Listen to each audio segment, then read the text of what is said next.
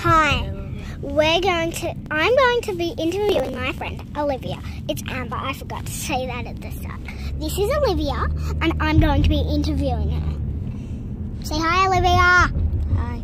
Now, so how many cheerleading things have you done? What do you mean? Like, how many clubs have you been at?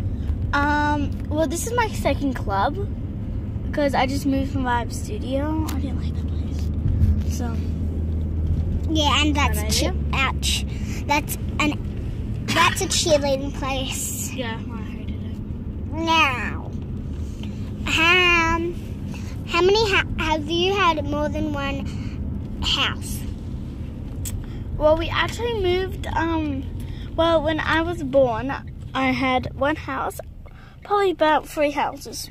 Because lived- we lived in Langton's Avenue for a long time now, where just since when I was like just just six years old, I think, we started to live in there. how old are you? Now Yes. I'm eight, Are you turning any age? nine, I'm turning nine as well. in June the eighth. I'm turning nine 20th of September. Yeah, whatever.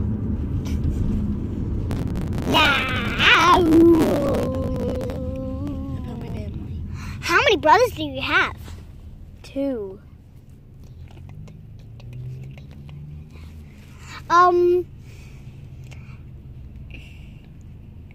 Do you have any pets? And if you do, how many? And Yeah. what are their names? I've got cats, and I've got two, Kobe and Casper. They're boys. Where did you get them? From my, I think it's my auntie's or cousin's vet. I got one from, one's got dumped from the vet and one found in the wood chip pile, so they're both rescue cats. That's sweet. Now, how old are your two brothers? One's 14 and one's 11. What are their names? Oliver and Bailey. Duh. Not everyone well. Goodbye. Bye.